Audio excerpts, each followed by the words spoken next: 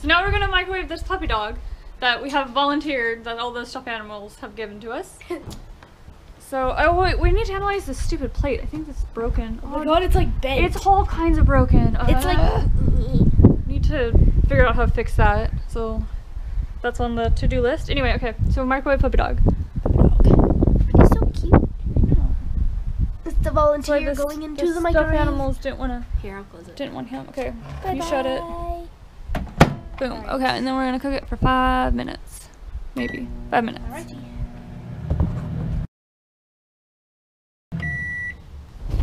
Let's see what happens. Need to fix her the microwave plate. Where you going? You gonna film it? Sure. Okay. So, open the microwave. No, nothing happened to the little dog. His eyeballs didn't get Is it hot? Kinda. I mean, it's actually it's just warm. Like, you can. Nothing happened. I know. It just got warm. He's got some booger on his foot, but that's from my plate. ah, okay. I don't know. We'll try microwave him again maybe in the future. He's still alive. Anyway, so that's what happens when you microwave stuffed animals. right now I'm gonna fix my microwave plate, but yeah, we'll microwave something else. Thanks for watching. Subscribe. Bye.